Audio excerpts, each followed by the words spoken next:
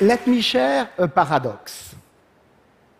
For the last 10 years, many companies have been trying to become less bureaucratic, to have fewer central rules and procedures, more autonomy for their local teams, to be more agile.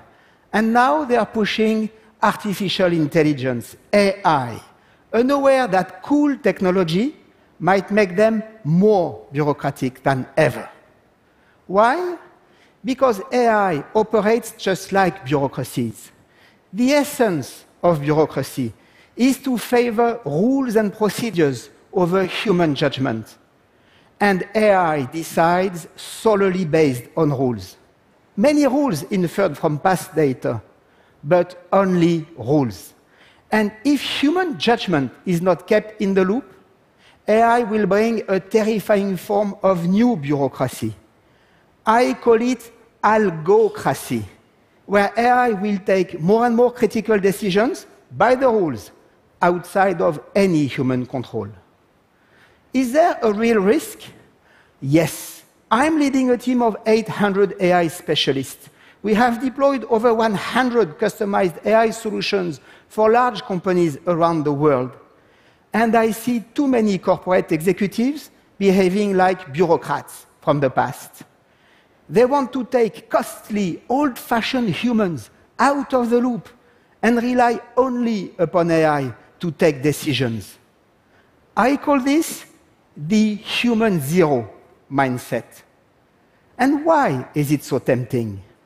Because the other route, human plus AI, is long, costly, and difficult. Business teams, tech teams, data science teams have to iterate for months to craft exactly how humans and AI can best work together.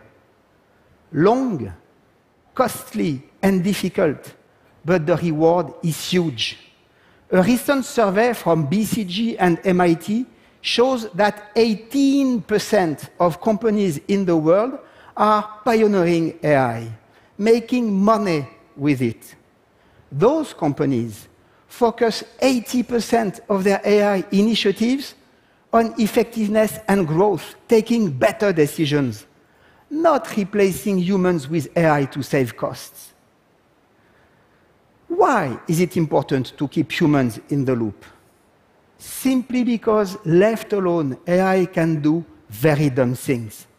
Sometimes with no consequence, like in this tweet Dear Amazon, I bought a toilet seat, necessity, not desire. I do not collect them. I'm not a toilet seat addict. No matter how temptingly you email me, I am not going to think, oh, go on then, one more toilet seat, I'll treat myself. Sometimes with more consequence, like in this other tweet, had the same situation with my mother's burial urn for months after her death, I got messages from Amazon saying, if you like that, sometimes with worse consequences. Take an AI engine rejecting a student application for university. Why? Because it has learned on past data characteristics of students that will pass and fail. Some are obvious, like GPAs.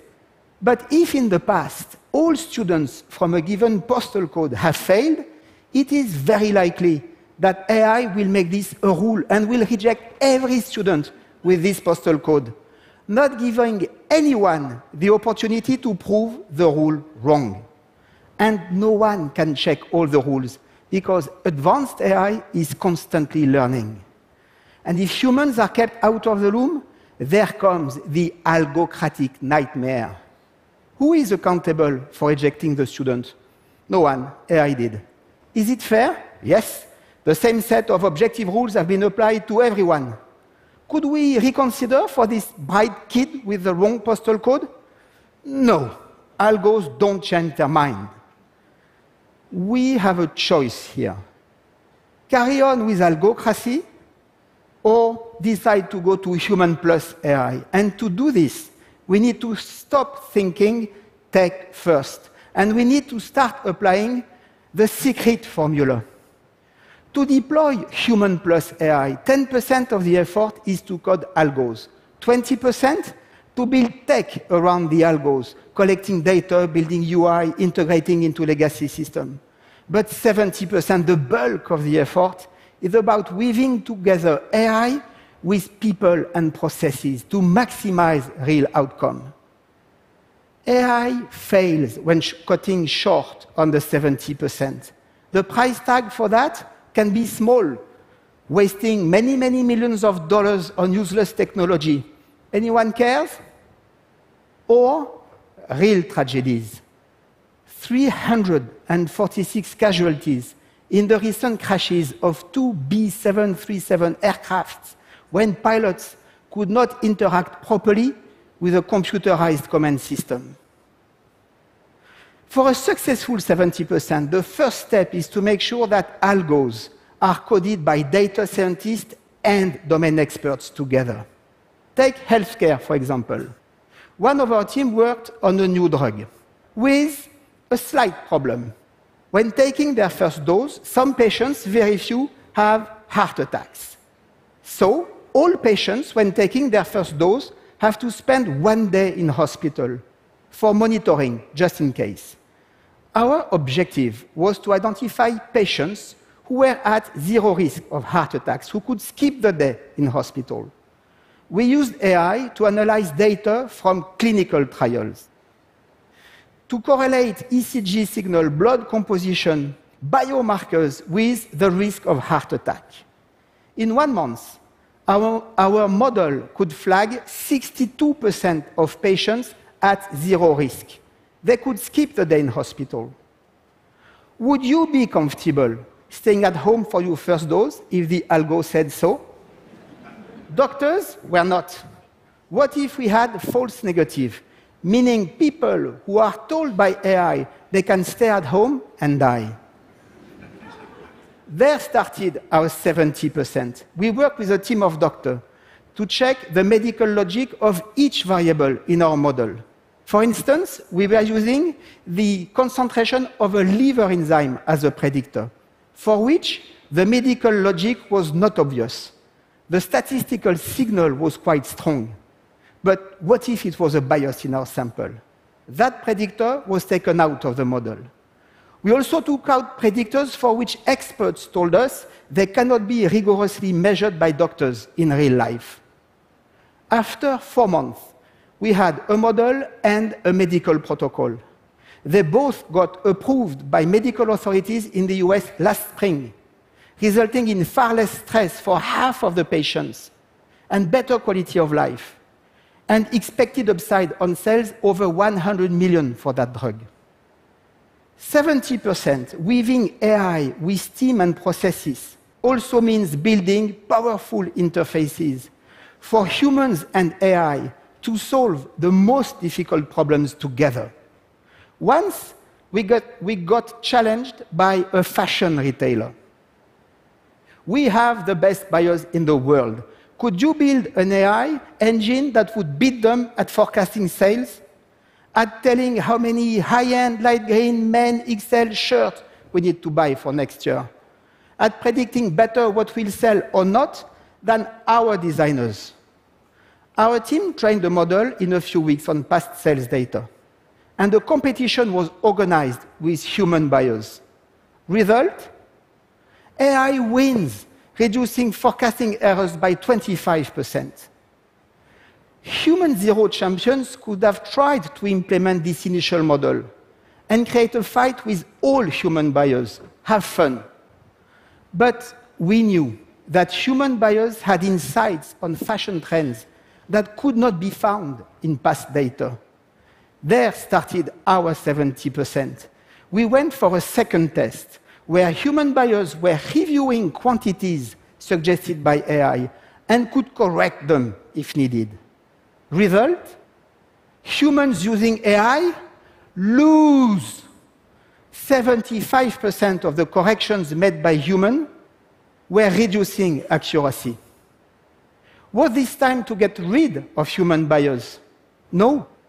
It was time to recreate a model where humans would not try to guess when AI is wrong, but where AI would take real input from human bias.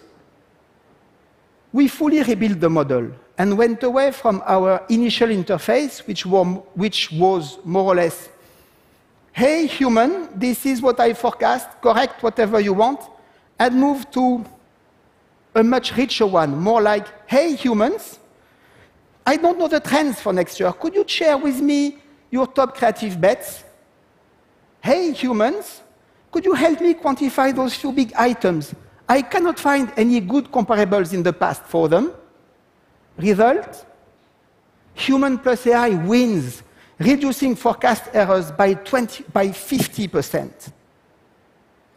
It took one year to finalize the tool. Long, costly, and difficult. But profits and benefits way in excess of 100 of millions of savings per year for that retailer. 70% on very sensitive topics also mean humans have to decide what is right or wrong and define rules for what AI can do or not, like setting caps on prices to prevent pricing engines to charge outrageously high prices to uneducated customers who would accept them. Only humans can define those boundaries. There is no way AI can find them in past data. Some situations are in the gray zone. We worked with a health insurer. He developed an AI engine to identify among his clients people who are just about to go to hospital to sell them premium services. And the problem is, some prospects were called by the commercial team while they did not know yet they would have to go to hospital very soon. You are the CEO of this company. Do you stop that program? Not an easy question. And to tackle this question, some companies are building teams defining ethical rules and standards to help business and tech teams set limits between personalization and manipulation, customization of offers and discrimination, targeting and intrusion. I am convinced that in every company, applying AI where it really matters has massive payback. Business leaders need to be bold and select a few topics, and for each of them, mobilize 10, 20, 30 people from their best teams tech, AI, data science, ethics and go through the full 10, 20, 70% cycle of human plus AI if they want to land AI effectively in their teams and processes. There is no other way. Citizens in developed economy already fear algocracy. 7,000 were interviewed in a recent survey. More than 75% expressed real concerns on the impact of AI on the workforce, on privacy, on the risk of a dehumanized society. Pushing algocracy creates a real risk of severe backlash against AI within companies or at, in society at large. Human plus AI is our only option to bring the benefits of AI to the real world. And in the end, winning organization will invest in human knowledge, not just AI and data. Recruiting, training, rewarding human experts. Data is said to be the new oil. But believe me, human knowledge will make the difference because it is the only derrick available to pump the oil hidden in the data. Thank you.